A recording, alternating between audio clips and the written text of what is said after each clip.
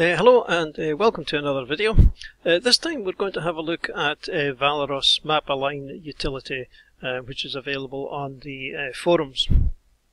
Um, and this is an extremely useful utility for realigning maps or resizing maps so that you can get a Fantasy Grounds grid to fit over the map where the map already has a kind of baked in grid. Uh, we can show you what we mean here if we go to our Fantasy Grounds. We've got a map here um, which is uh, from Dungeons of the Mad Mage and we can see it's a lovely map but it also has a, a grid which is sort of baked into it.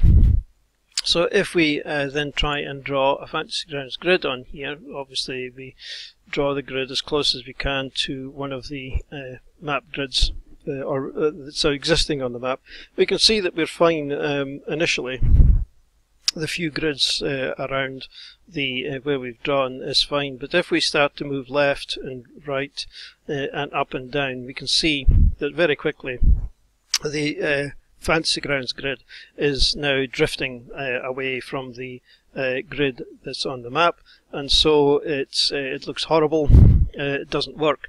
And so we need a method by which to resize this map so that a fantasy grounds grid will fit and this is where Valeros uh, map align utility comes into its own.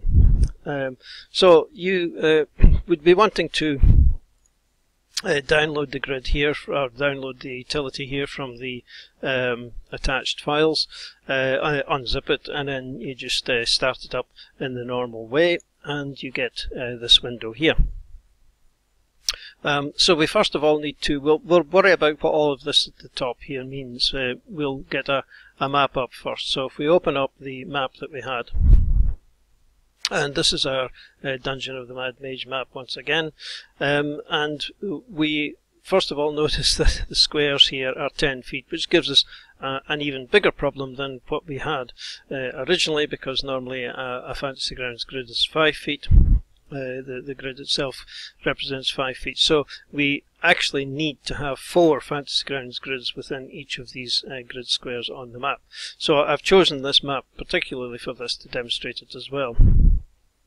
Um, so in order to get started, we want to be zooming in to uh, as close to the left-hand side and top of the map uh, as we want. So we're going to zoom into this area here uh, just using the uh, zoom in buttons. You can use the mouse wheel as well, um, but this gives you slightly more precision. Um, you just need to keep aligning things up so that we don't lose sight of our square. Uh, and this is where we're going to start. And the way we uh, do, the way this utility works is that we basically draw uh, a blue square uh, which is going to cover the size of one of these grids and then a red grid will appear uh, covering the map and then we will resize the map so that it fits that red grid which appears.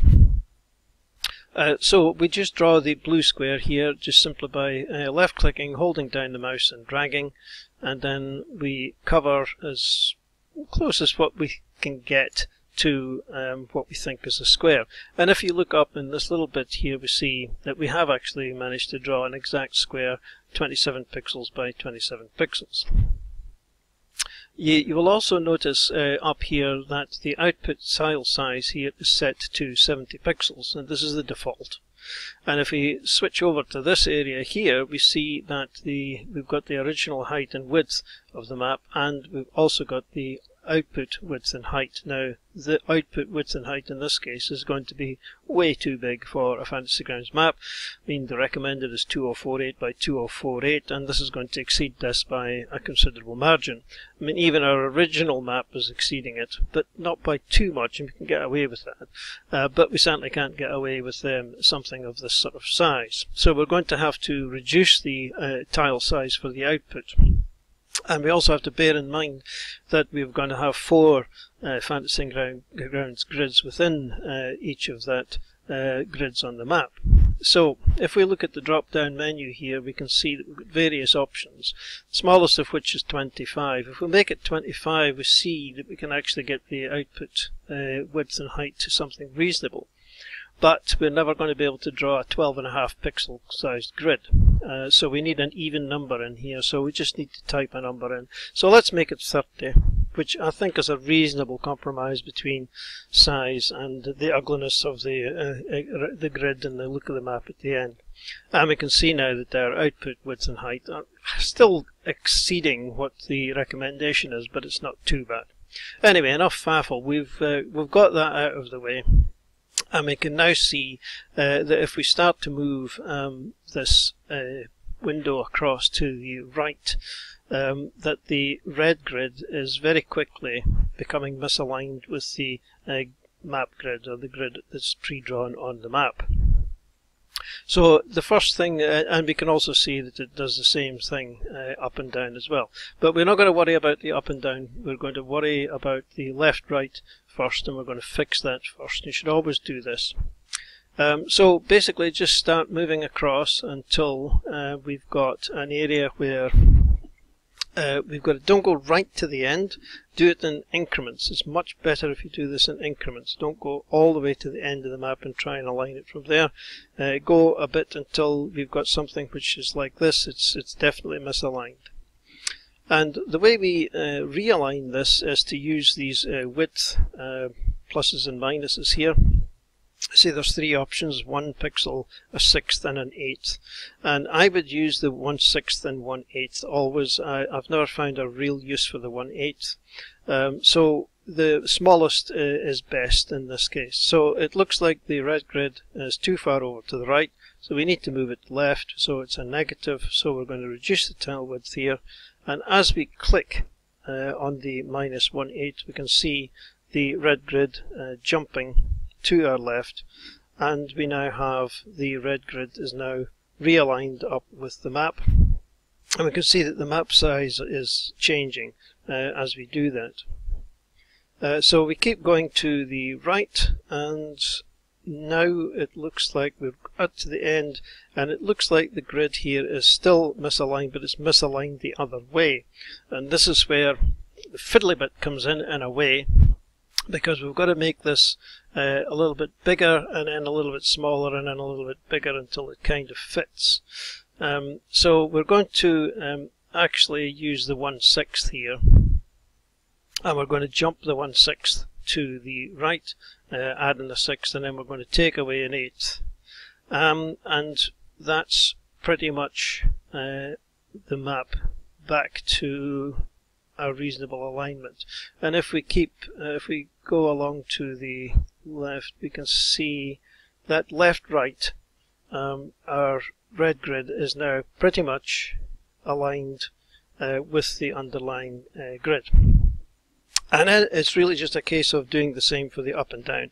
Now the up and down, uh, again, same thing, start at the top, uh, or at least start at some point below where you drew your grid. Um, and then we just move down until we've got a situation where the red grid is now so misaligned that we can actually uh, fix it and this time we're using the tile height pixels um, and again we're going to just use the 1 8th um, again we want this to be a negative. We want it smaller and we just click a couple of times and we now have the grid is pretty much aligned there. And we move down a bit. And as we move down we can see that towards the end of the map it uh, once again get slightly uh, misaligned. Now this is probably not huge um, but you know it's it's bad enough that it's not going to align properly. So once again we're going to do the same kind of trick uh, with the um, pixels. We're going to make a one sixth and then minus one eighth and we might have to do this uh, actually if we look up here now we can see that the height and width is 26.667 for both uh, left right up and down. So I think what we can probably do with this now if we have a look uh, all the way up what we can actually do now is just move this grid using the uh, grid align here.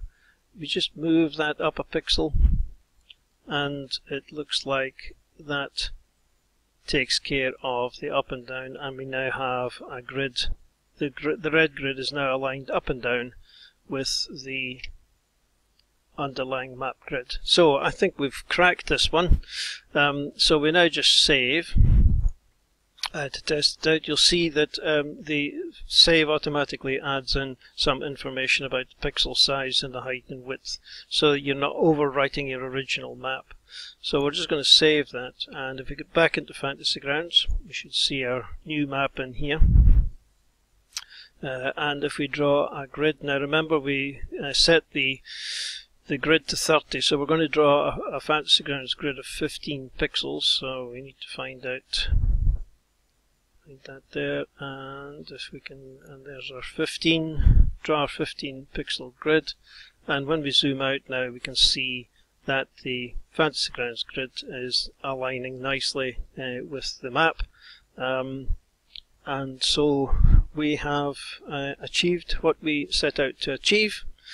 Um, thanks once again to uh, um, excellent uh, tool uh, from the uh, Fantasy Grounds forum. So a shout out again to Valeros for uh, creating the utility um, and hopefully this video will fill in a little bit of, of a gap um, as to how to actually use it to its best advantage. So thanks again for watching and cheers for now.